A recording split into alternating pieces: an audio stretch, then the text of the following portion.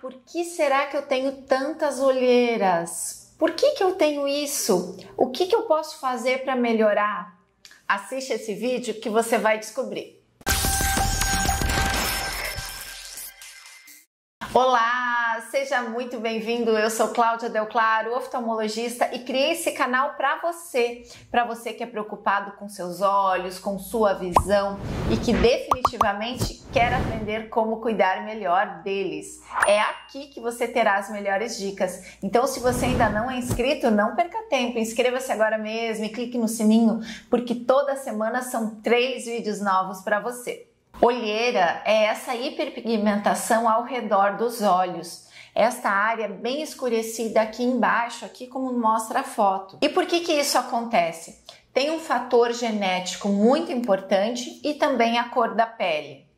Com o passar da idade, estas olheiras podem ir piorando, porque a nossa pele vai ficando cada vez mais fina, cada vez mais flácida, vamos perdendo fibras de colágeno e aí a olheira vai se manifestando mais, vai ocorrendo acúmulo de líquido nesta região e os vasos sanguíneos vão aparecendo mais também. Então ela é notório a piora da olheira com o passar da idade. Pois é, mas e o que, que eu faço para melhorar isso, doutora? Eu vou te contar, mas antes, o que, que você faz? Já vai me deixando muito, muito like e fica comigo até o final desse vídeo para você saber essas dicas. Em primeiro lugar, vamos às causas, fora a genética, que podem estar piorando esse escurecimento ao redor dos olhos.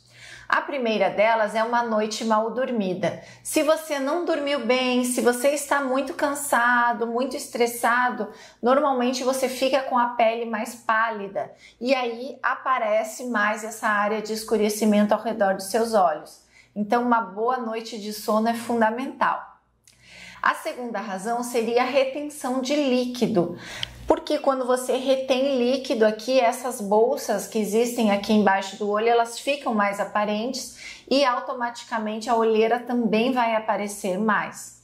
Então nós temos que ver o que, que está por volta desta retenção de líquido. Se é alguma doença, como por exemplo doenças renais, doenças hepáticas e outras que podem estar provocando isso, e aí você tem que descobrir a causa né, exata e tratar. Se você conseguir tratar, se você conseguir superar esse problema, com certeza você vai ter uma melhora. A terceira causa seriam as alergias, porque também a alergia deixa essa congestão na área ao redor dos olhos, ficam mais inchados e as olheiras vão ficar mais aparentes. A quarta causa seria a desidratação da pele. Então é muito importante você cuidar com cremes, hidratar bem essa região ao redor dos olhos porque se estiver seca, desidratada, as olheiras vão se manifestar mais. A quinta causa seria o, tabagismo. De fato, o hábito de fumar faz com que sua pele fique mais fina, com que você tenha mais rugas e com que apareça mais as olheiras. Então, já é um bom momento para você decidir e parar de fumar.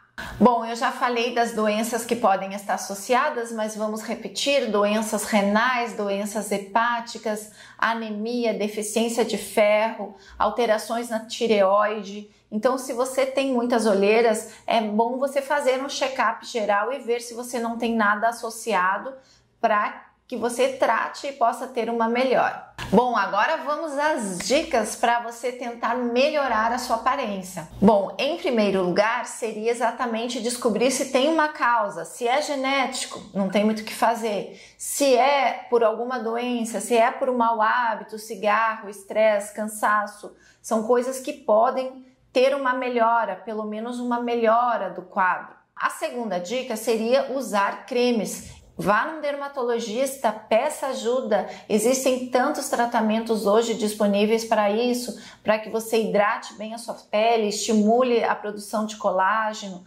Tudo isso vai ajudar bastante. Em terceiro lugar, seriam aqueles tratamentos caseiros famosos que vocês adoram. Seriam compressas geladas, tudo que é, como há um aumento de circulação no local ali, há muitos vasinhos, se você coloca algo gelado, você vai fazer uma vasoconstrição no local e você vai melhorar essa aparência. Então você pode fazer compressas com chás gelados, chá preto, chá verde, chá de camomila. Você pode colocar pepinos gelados, batatas geladas. Na realidade, o que vai mesmo funcionar é colocar algo gelado ali na região. Vai diminuir o inchaço e vai fazer essa constrição dos vasos e você vai ter uma melhora da aparência. E por último, lógico, aquela boa e velha make para disfarçar. Existem diversos corretivos disponíveis, inclusive existem corretivos de acordo com a cor da sua pele. Ah, a minha pele é de tal cor, então aí você usa um, corretivo mais para tons esverdeados, para tons amarelados, para tons alaranjados, e aí você vai conseguir neutralizar melhor. É lógico, nesse caso, que o meu conselho sempre aos meus pacientes é assim: fazer o que é possível, identificar a causa, melhorar os seus hábitos de vida com bom sono, exercício físico, não fumar, fazer algum tratamento estético, vá ao dermatologista, existem preenchimentos ao redor. Mas lógico, você tem que ir se aceitando também e convivendo com essas com essas pequenas imperfeições que nós temos, mas nós conseguimos superar isso, porque afinal a beleza ela não é vem só de fora, ela vem de dentro, de como você é, como você se sente, como você se aceita. Se você se aceita, se você se ama, com certeza isso vai transparecer para a pessoa e você vai ficar cada vez mais bonito. Lembre-se, isso é o mais importante. Gostou dessas dicas? Espero que sim. Se ficou com alguma dúvida, deixa aqui para mim nos comentários, porque você sabe, eu adoro interagir com você, eu adoro quando você conta suas histórias. E compartilhe agora mesmo com seus amigos que também possam estar com esta dúvida. Um grande beijo e eu te vejo no nosso próximo vídeo. Tchau, tchau!